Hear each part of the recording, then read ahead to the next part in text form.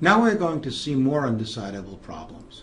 We begin with Rice's theorem, which tells us that almost every question we can ask about the recursively enumerable languages is undecidable.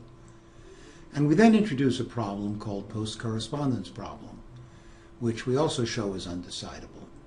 Post problem does not appear to have anything to do with Turing machines, so the fact that we can show it is undecidable is a valuable step on our road toward showing real problems undecidable. However, post problem is still just the game, uh, but we can use post problem to show some real problems, for example, questions about grammars, to be undecidable. We'll first see Rice's theorem. That theorem involves what are called properties of languages.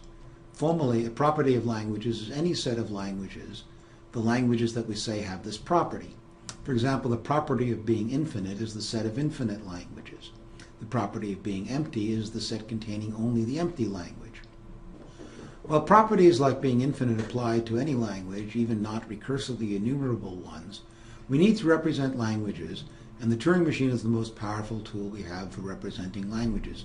So we'll talk about properties of recursively enumerable languages only. So we'll consider a property to be a problem about Turing machines. Given a code for a Turing machine, does it define a language with that property? So for any property P, we can define a language L sub P, the set of binary strings that represent a Turing machine whose language has the property P. So for example, L sub infinite is the set of codes of Turing machines that define an infinite language. There are two properties we call trivial for reasons that will be obvious. For these two properties P, L sub P is decidable. One of these trivial properties is the always false property that contains no recursively enumerable languages. We can think of this property as is not a recursively enumerable language.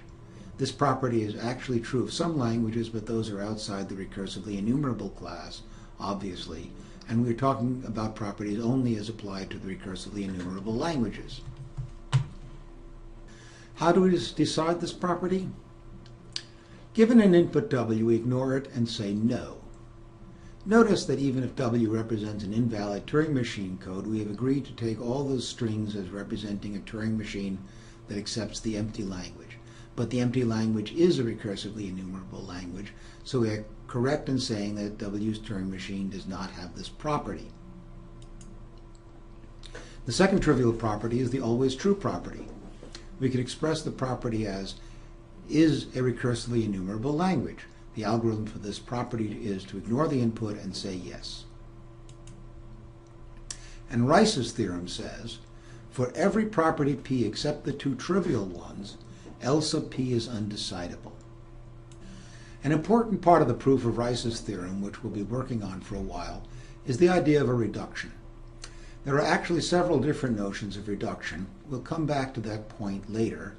But the simplest one, and the one we need for Rice's theorem, is an algorithm that takes an input string W for one language, or problem L, and converts it to another string X that is an input to another language or problem L prime, with the property that X is in L prime if and only if W is in L. The value of having such a reduction is that it tells us L is no harder than L prime, at least as far as decidability is concerned. If I know L prime is recursively enumerable, then I also have a Turing machine program for L.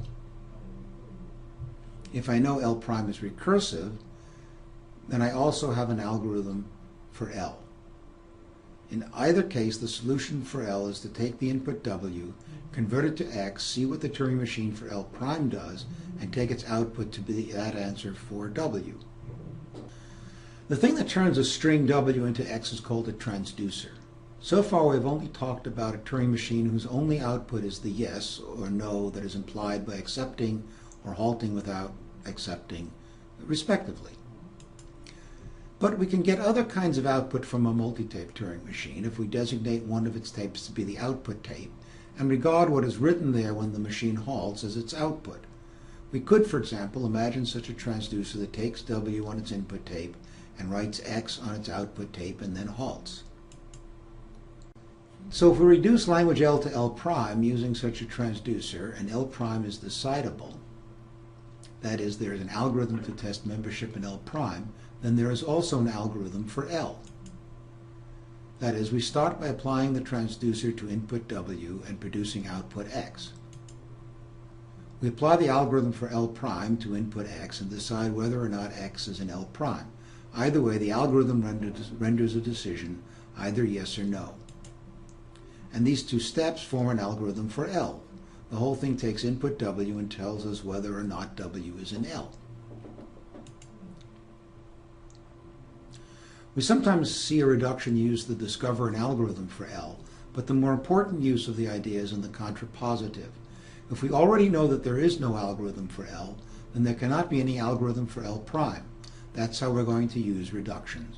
We'll take one problem that we may not be interested in, but that we know is undecidable, and reduce it to another problem that we are really interested in, but whose status we don't yet know, and then we will conclude that the second problem is also undecidable.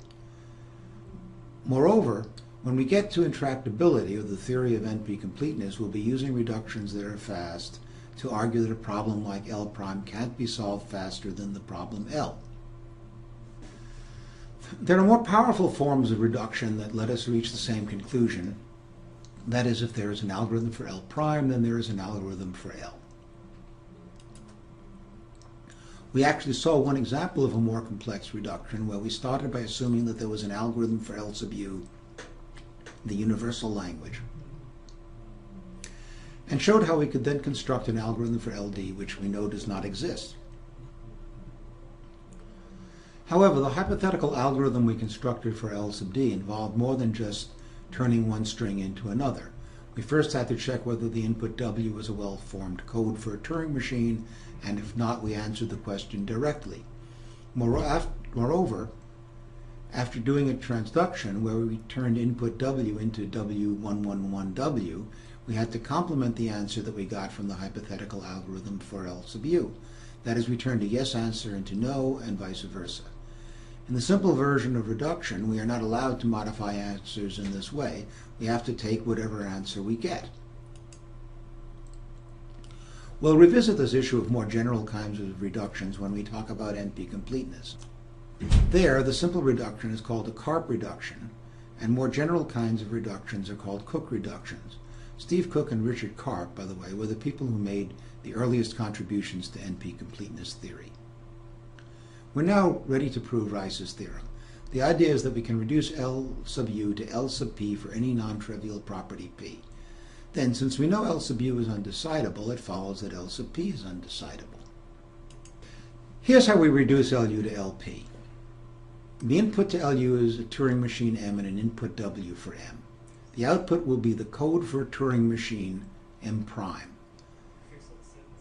That is at least the right form since LP is a set of Turing machine codes, those for which the language of the machine has property P.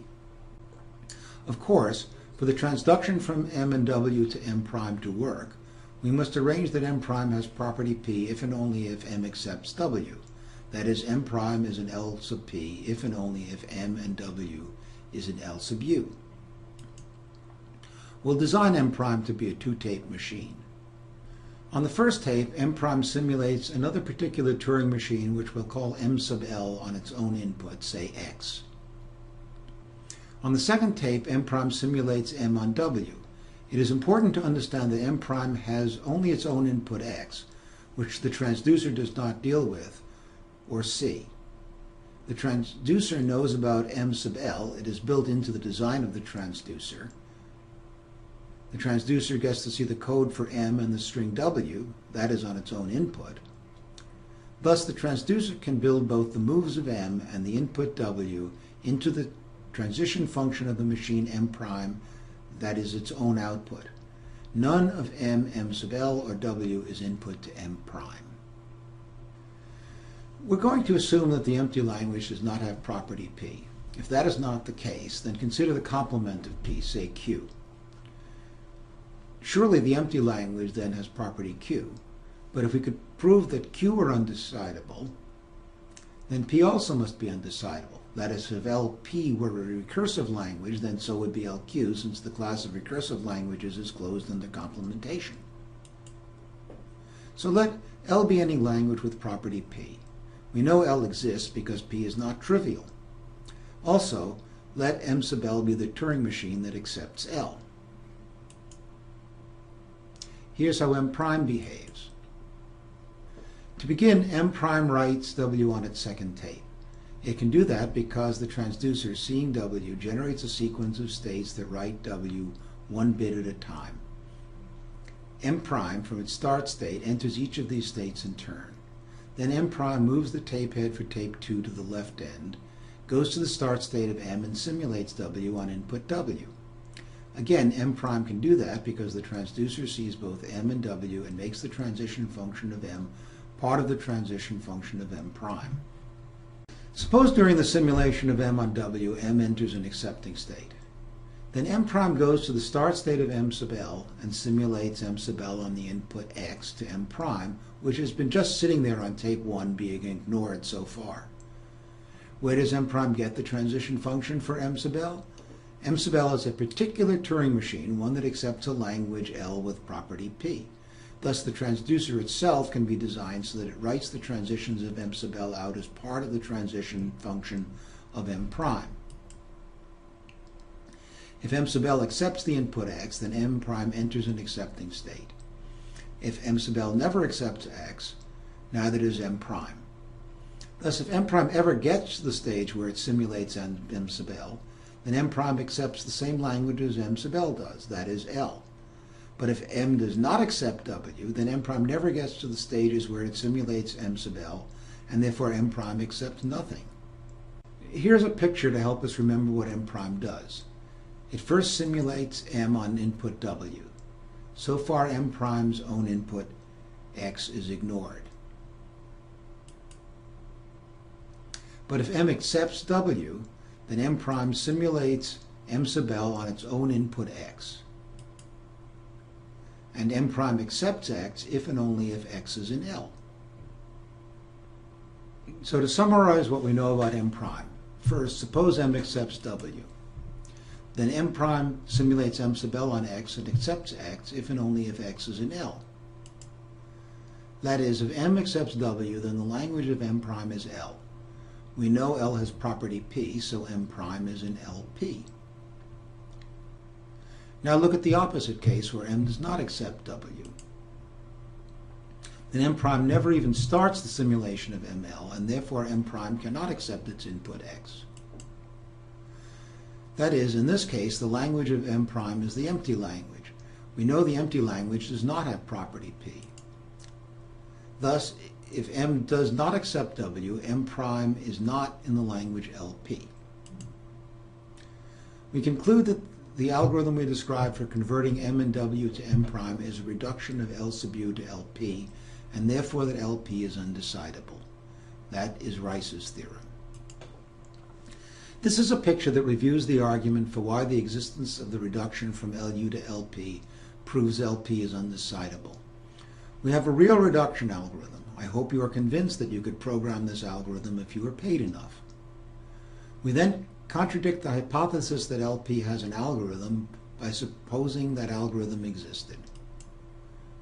Then you could put together the reduction plus the hypothetical algorithm to build an algorithm for LU. Since we already proved that there is no such thing, we have to look at what of this story hasn't been proved.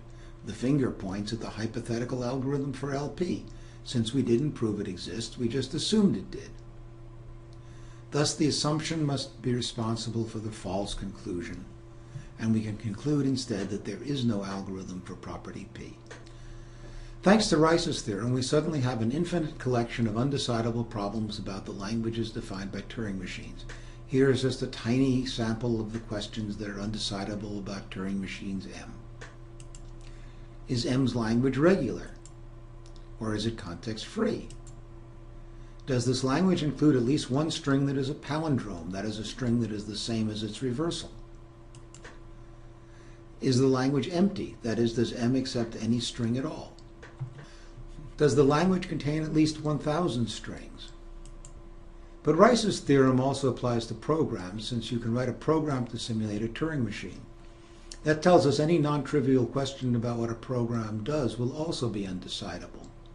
I want to emphasize about what a program does. There are lots of questions about what a program looks like that are decidable. For example, I can tell whether a program uses more than 20 variable names, but that's not a question about what the program does. An example of a question about what a program does is, does the program eventually halt on any input? That is undecidable. Or does the program correctly sort its input? That's undecidable. Or does this line of code ever get executed? That's undecidable. We're now going to take up post-correspondence problem, affectionately known as PCP. PCP is the first example of a problem that is undecidable yet doesn't involve Turing machines or programs, which are really the same thing. As we said, PCP is not really important by itself since it's just a made-up problem, but it leads us to proofs that many other problems are undecidable. These problems are unrelated to Turing machines but are related to matters like context-free languages that were not developed for the purpose of exposing undecidable problems.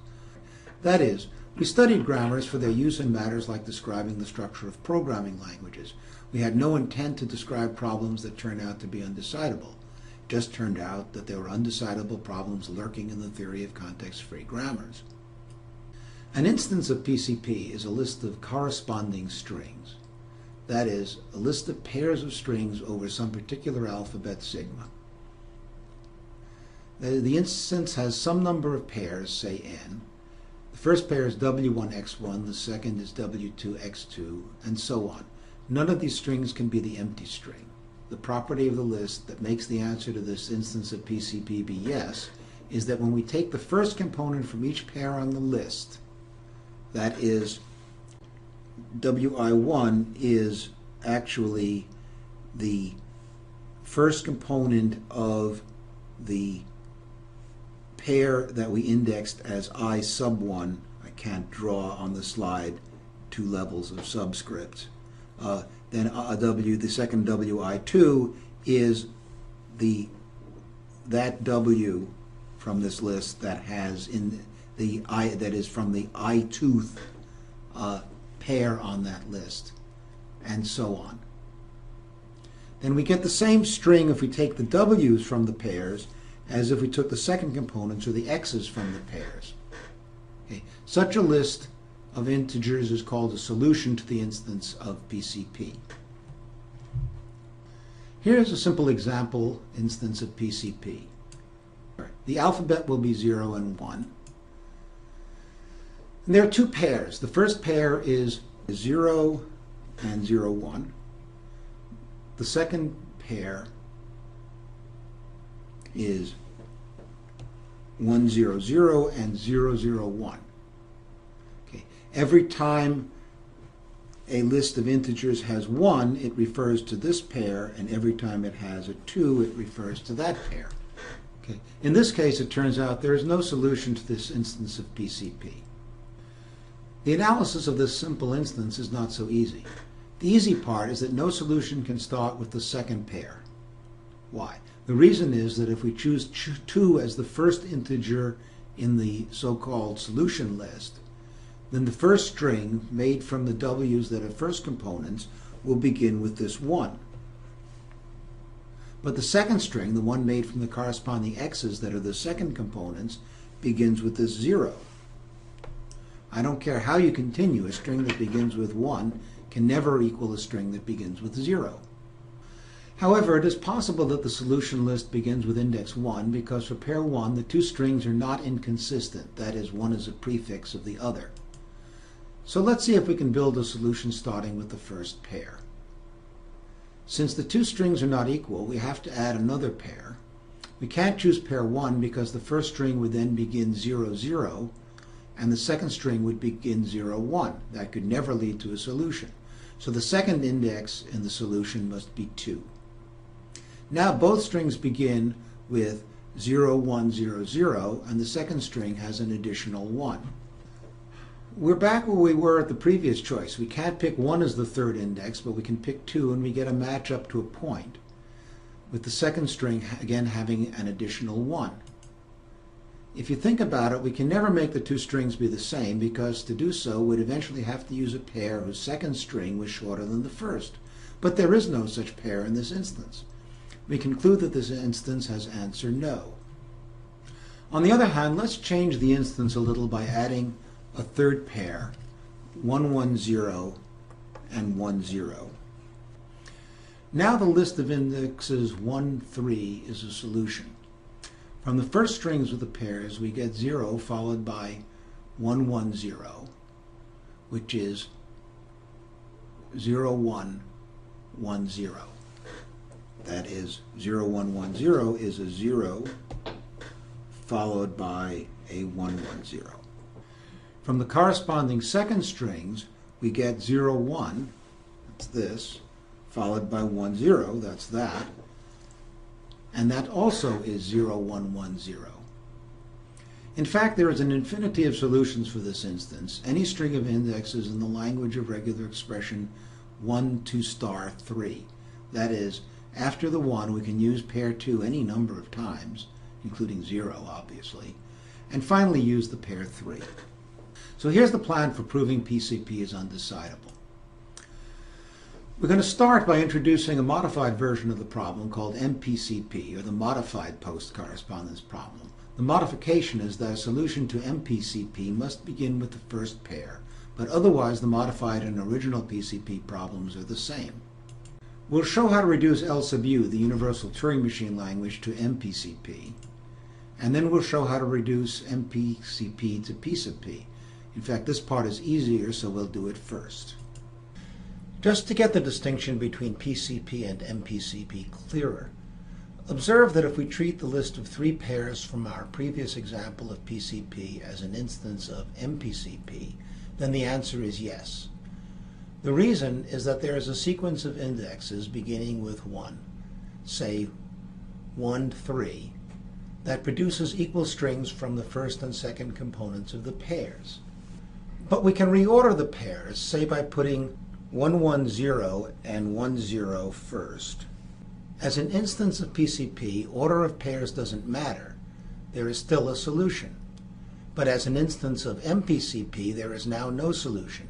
Any solution would have to begin with index 1, but then the first of the two strings would begin 110, and the second would begin 10, so no matter how we extend these strings, they disagree in the second positions, and so they are not equal. Before we can talk about reductions, we need to express PCP and MPCP as languages. The instances of these problems can have any alphabet. So it is not immediately obvious how to express the set of all PCP instances that have a solution. Again, the problem is that there is no finite alphabet for this set, and languages just need a finite alphabet. So we need to code symbols in a finite alphabet. We'll represent the ith symbol of an alphabet by the symbol A followed by I in binary. Thus we only need three symbols to represent any number of symbols. The order of symbols of the alphabet is not important. For example, if we have an instance over alphabet A through Z, we could represent A by A1, B by A10, and so on. But we could also represent z by a1 and y by a10 and so on. It should be clear that the particular symbols used for the alphabet of a PCP instance does not affect the outcome. And the only other symbols we need to represent instances is the comma and left and right parentheses. Thus, the alphabet for the language of PCP instances will have an alphabet of six symbols, the A, 0, 1, comma, left paren, and right paren.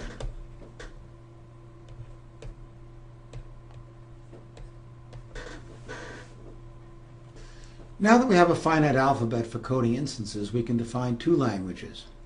L sub PCP, the language of coded instances of PCP that have a solution, and L sub MPCP is the same for the modified problem.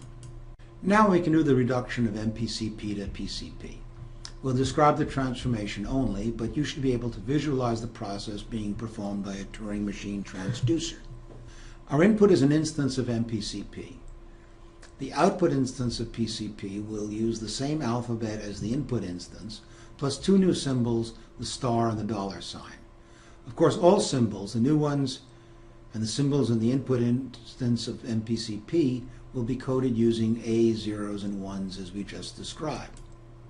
For each pair WX in the input instance, there is a pair in the output instance based on W and X. For every first string W of the pair, we add star after every symbol. So for example, 0, 1 becomes 0 star 1 star. And for x, the second string of the pair, we instead add a star before every character. So, for example, 1, 1 becomes star 1, star 1.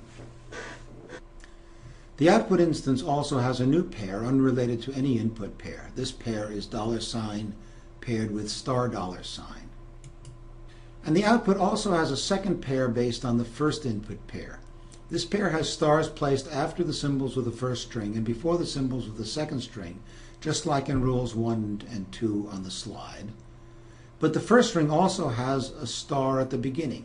So for example, the pair 0, 1 paired with 0 would become star 0 star 1 star paired with star 0. Here's an example. On the left is the instance of MPCP that is input to the transducer. On the right are those pairs with the added stars. Notice that for each pair, the stars come after the symbols on the first string and before the symbols on the second string. And we always add this pair, which will serve to make the strings of the PCP instance match when there is a solution to the MPCP instance. Its job is to add the missing star to the second string. And this pair also comes from the first pair. It is just like the first pair of the PCP instance, except for the star at the beginning of the first string. Notice that this is the only pair in the entire PCP instance where both strings start with the same symbol. For example, this pair has 0 as the first symbol of the first string and star as the first symbol of the second string. All these pairs have second strings that begin with star and a first string that begins with 0 or 1.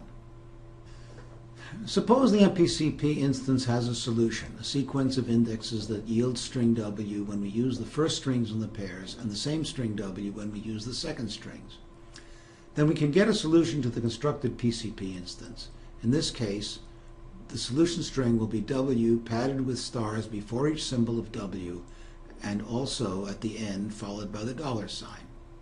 For example, if W is 101, then the PCP instances solution is star 1, star 0, star 1, star dollar sign. To get the PCP solution, we use the same sequence of indexes as in the solution to the MPCP instance with two exceptions. First, we use the index of the special pair as the first index. Recall this pair was constructed from the first pair of the MPCP instance with the extra star. And we also add to the solution of the PCP in instance the index of the ender pair star, dollar, and dollar to the end of the list of indexes.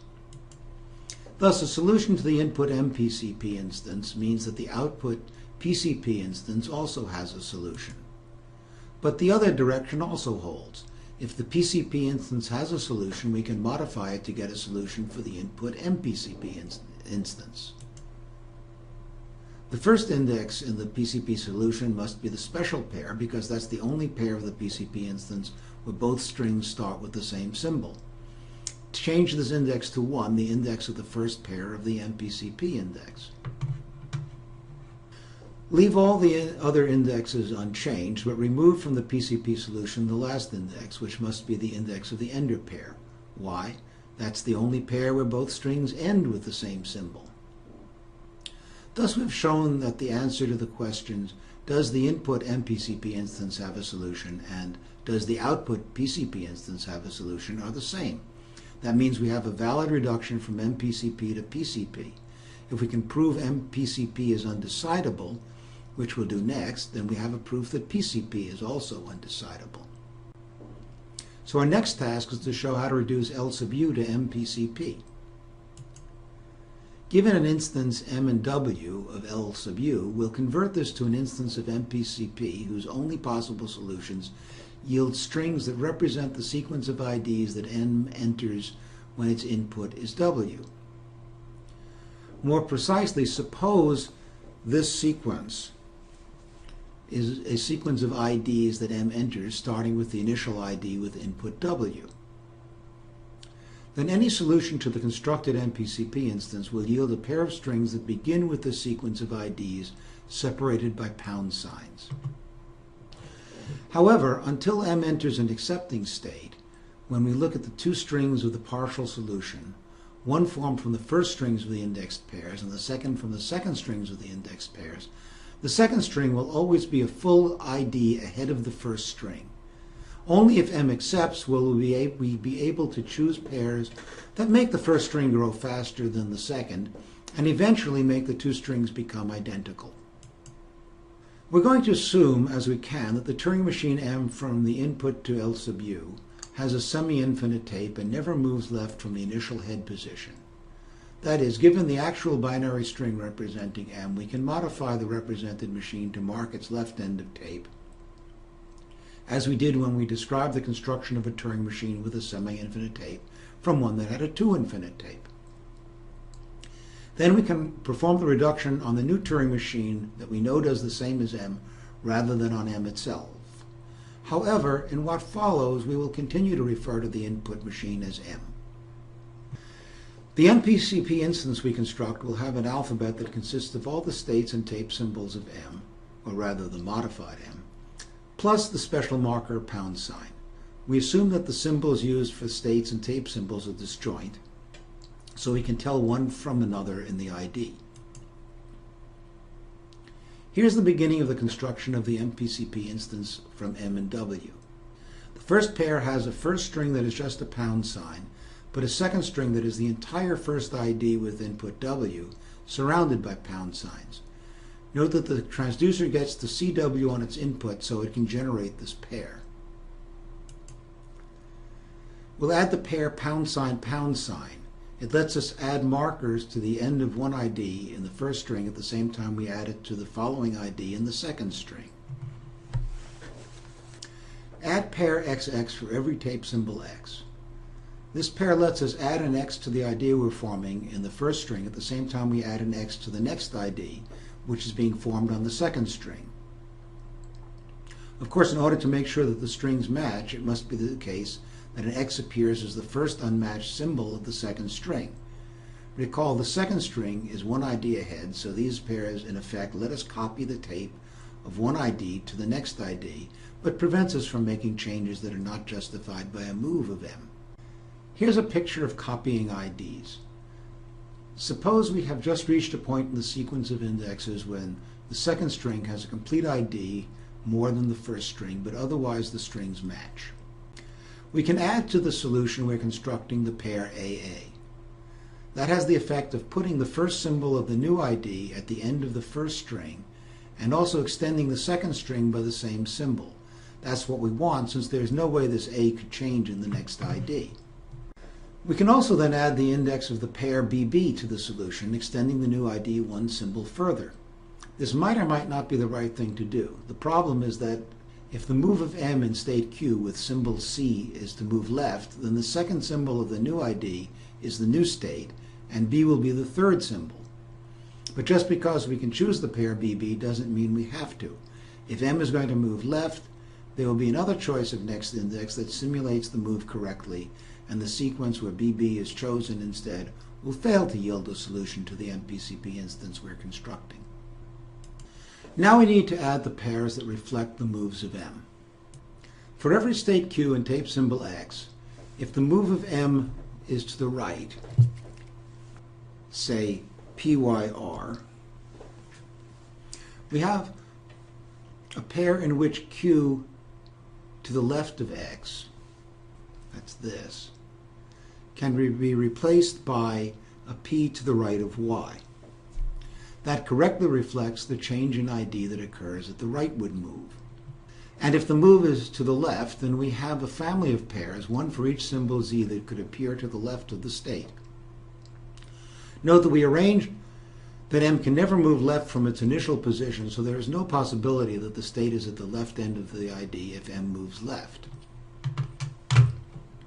So if the leftward move has state Q and symbol X replaced by state P and symbol Y, then for every Z there is a pair that puts P to the left of the Z and replaces the X by the Y. One other possibility is that in the current ID, the state is at the right end of the ID, scanning a blank we've never visited before. If so, the state will actually be to the left of the pound sign. Okay, and the pairs are almost the same, but when constructing the second string, we should imagine an extra blank in front of the pound sign. The blank, blank is replaced by the new symbol y, of course. Following a previous example, suppose that in state Q, scanning C, M does indeed move right, going to state P and writing E in place of C. Had M moved left in that situation, the sequence of pair choices would be dead in the water, unable to continue. However, in that case, we could have chosen not to use the pair BB, but instead use a pair that incorporated the left move and handled the B properly. In this case, we have a pair with QC as the first string, so we can match the string on the bottom. It also extends the bottom string with EP, reflecting a move of M. Once the move has been handled, we can just match symbol against symbol. Here the pair DD is used. And once we are at the end of the ID, we use the pair of pound signs to separate the IDs, and we're now ready to continue the sequence of pair choices to copy the new ID which is ABEPD, and make it changed by another move. But we need some more pairs in the MPCP instance so that in case M accepts, we can find a solution. Note that if M never accepts, then only the rules given so far can ever be used, and these can never lead to a solution because the second string is always one ID longer than the first. However, if M enters a final state F, then it is possible for the F to, we'll say, eat the neighboring symbols of an ID. We no longer have real IDs of M, but it doesn't matter. We've simulated M enough to know that M accepts W, and our only concern then is to make sure that there's a solution to the MPCP instance based on M and W. Thus, we add to the instance of MPCP pairs XFYF FYF and XFF for all tape symbols X and Y. Using these pairs, together with pairs of the form XX to copy parts of IDs as we have done, we eventually get to an ID that is only the state of F. Of course, that isn't an actual ID of M, but it doesn't matter anymore. And one more pair, F pound pound, paired with the pound sign, will end the two strings being formed, making them the same and yielding a solution to the MPCP instance. So here's an example where M has entered the final state F and a sequence of choices, either copying a symbol or allowing F to eat the adjacent symbol or symbols, eventually leads to identical strings. So here's what it looks like. Well, we'll just have to copy that A but now the F can in effect eat the B and C adjacent to it. We have to copy the D, we have to copy the E, we have to copy the pound sign. Now the F can eat the A and the D, but we have to copy the E, have to copy the pound sign. Now F doesn't have anything that it can eat to its left, but it still will eat the E. And finally, copy the pound sign, and now F pound pound paired with pound makes everything evened up, and we have our solution. Now we know that PCP is undecidable because we successfully reduced L sub u to uh, its own language M sub PCP. And we're going to reduce PCP to the problem, is a context-free grammar ambiguous? Then, for the first time, we'll have an undecidable problem that arose naturally. That is, not because we were looking for undecidable problems. Before we can talk about any problem involving grammars, we need to find a code for grammars using a finite alphabet, just as we did for PCP. So to start the encoding of grammars, let's represent the ith terminal by symbol A followed by I in binary. That may look like we're thus forgetting what the actual terminal symbols are, but since we're interested in ambiguity, we can rename the terminals any way we like as long as we don't name two terminals the same, and the ambiguity or unambiguity of the grammar will not change. Then we'll represent the ith variable by capital A followed by I in binary. Uh, we will assume that A1 is always the start symbol. The right arrow between the head and body of a production will be represented by itself. Likewise, the comma separating productions and the symbol epsilon will represent themselves. For example, this grammar is represented by this string right here. The bar connecting alternative bodies for S has been expanded so that there are two separate productions.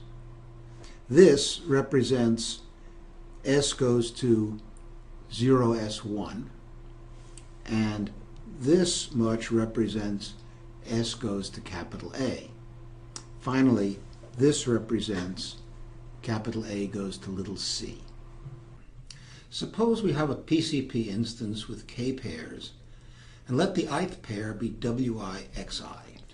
We need k index symbols to represent the numbers of the pairs and we'll use A1 through AK which we may choose to be symbols that do not appear in the PCP instance itself. Notice that we're going to talk about reducing an uncoded instance of PCP so it can have any alphabet to an uncoded grammar, which also can have any symbols.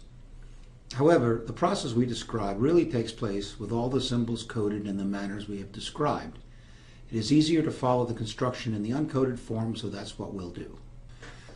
The list language for the first half of each pair, the strings W1 through WK, has a context-free grammar with productions A goes to WI, capital A, little ai.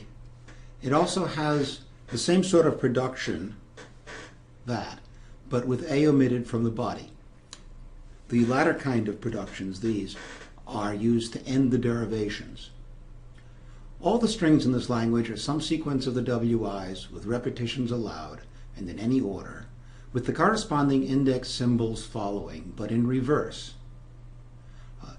For example, uh, here's a derivation. Okay, A could derive in one step, let's say W1A little a1. And then in one more step, we could use, let's say, the terminal production for W2. So we get W1, W2, and then A2, A1. Notice that the sequence of A's is the reverse of the sequence of W's. And we can do the same thing with the second string from each pair. We'll use variable b and xi's in place of wi's, but the idea is the same. The language of strings generated from A and B each consists of a concatenation of strings, either from the wi's if it's A or the xi's uh, if it's B, and these are the first or second components of the pairs. They're followed by the reverse of the sequence of indexes of the pairs from which these strings came. Here's an example of a PCP instance over alphabet AB. We'll use 1, 2, and 3 as the index symbols. So the grammar with start symbol A is this. For example, the second pair, whose first string is BAA, gives rise to these two productions. Here's BAA with the variable a in the middle, and then 2, which is the index. And then there's another production that's the same but without the capital A. And here's the grammar for the second strings in the pairs with start symbol B. As an example, if we choose the three pairs in order 1, 2, 3, then there's a derivation from A that looks like this. So A, use the first choice, that's this production, then we'll use the second choice, which is this production, and that gives us A, B, A, A, capital A, the 2, and the 1.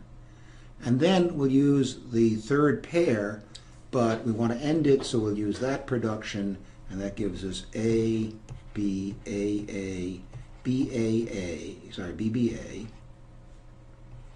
That, that's that. And then 3, 2, 1. We're now ready to show how to reduce PCP to the ambiguity problem. Given the PCP instance, construct the two list languages with variable A for the first strings of the pairs and B for the second strings of the pairs. Then add the productions S goes to A and S goes to B. Of course, S is the start symbol of the grammar. We'll show the resulting grammar is ambiguous if and only if there's a solution to this instance of PCP. But first, let's look at an example that should actually expose how the proof in general works. Okay. Here's the grammar constructed from the PCP instance that we saw earlier. It is the sets of A productions and B productions we saw plus the two productions for S. Okay, notice there is a solution 1, 3. That is, the first pair was AAB, and the third pair was BBA with BA. When we take the first strings of each pair, we get ABBA, this, followed by that. And when we take the second strings of each pair, AB and BA, we also get ABBA. And this common string followed by the index string in reverse, which is that, will have two leftmost derivations, one starting with A and the other starting with B here's the derivation starting with A, and here's the derivation starting with B. So here's the proof this construction is a correct reduction from PCP to ambiguity. First, suppose the PCP instance has a solution, say represented by the sequence of index symbols A1 through AK. Note there can be repeats in this, in this sequence then W1 through WK is the same string as X1 through XK. That's what it means for this, for this index sequence to be a solution. Then there are two leftmost derivations of the string that is W1 through WK, or, or equivalently it's X1 through XK, that is followed by AK down to A1. One starts with S goes to A, and the other starts with S goes to B. For the converse, we're going to show that if there are two leftmost derivations of a string of terminals, then one must begin S goes to A, the other must begin S goes to B. Suppose there are two leftmost derivations that begin with S goes to A. Then we can look at the sequence of index symbols in the resulting terminal string in reverse and learn exactly the sequence of productions used. Except for the last production used, each would be the unique A production that generates the index symbol and has an A in the body. And the final production would be the one with the last, that is leftmost index symbol, and no A in the body. The same idea works for derivations that start with S goes to B. There can be only one with a given sequence of index symbols. Here's an example. If the derivation starts with S goes to A and produces a terminal string with index sequence 2321, then here's what the derivation of parse tree has to look like. Okay, First of all, we start with A. The first production used must generate the 1 at the right end, and we need to keep the A, so this is the only choice. So we've generated W1 off to the left of the A. The next index symbol from the right end is a 2, so we have to use this production. Again, we still need to keep that A there because we have more index symbols to go. Then the third from the left index symbol is 3, so this is the production we have to use. And then the last index symbol is 2, that is the leftmost index symbol is 2. So we're going to get rid of that A and use this production. That's the only way we could generate a string with 2321 at the end and no other index symbols. We can prove many things about context-free grammars to be undecidable as well, but to do so we need to show that the complement of a list language is also context-free. Remember that the complement of a context-free language need not be context-free, but fortunately these are. For the proof, we find it easy to construct a pushdown automaton, in fact a deterministic pushdown automaton, for the complement. The PDA we construct will start with a bottom marker on its stack. At first, some symbols from the PCP instance, not indexed symbols, will appear. The PDA simply pushes them onto the stack. After the first index symbol arrives, start checking that the proper strings appear on the stack. That is, if we see an index symbol AI, then check that the proper WI appears on the stack with the right end of WI at the top. The PDA pops all the symbols of WI if so. Note that we're assuming this is the complement of the list language based on the first components. If it is for the second components, we'll check that XI appears on the top of the stack, again with the right end at the top. What we seem to be doing is accepting the list language itself rather than the complement, but I didn't tell you when the PDA accepts. In fact, it accepts every input, with only the exception of when it has found a string in the list language. That is, if the input so far was some sequence of PCP symbols followed by some sequence of index symbols, and these sequences are not empty, and the bottom of stack marker is now exposed, then the PDA does not accept this string. It will accept any other string that follows, which cannot then also be a solution to the PCP instance. Now we can use the complement language. Let LA and LB be the list languages for the first and second components of an instance of PCP and let LA complement and LB complement be their complements. Now, all four of these languages are context-free languages. Let's consider the union of the complement languages. This is also a context-free language by the fact that context-free languages are closed under union. I claim that this union equals sigma star, where sigma is the alphabet consisting of all the symbols used by the languages involved, if and only if there is no solution to the PCP instance. Suppose there were a solution, say represented by the index symbols A1 through AN. Then this string is not in the complement of LA, and the equal string, this, is not in the complement of B. Thus, if there is a solution, there is a string missing from the union. Conversely, suppose string y an down to a1, let's say this.